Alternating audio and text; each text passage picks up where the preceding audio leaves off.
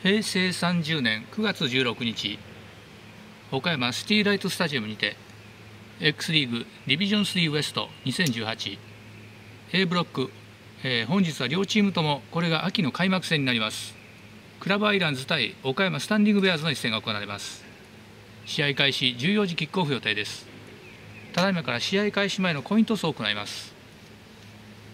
手前側ホワイトのユニフォームがホームチーム岡山スタンディングベアーズ。奥側からネイビーのユニフォームがクラブベアーズです。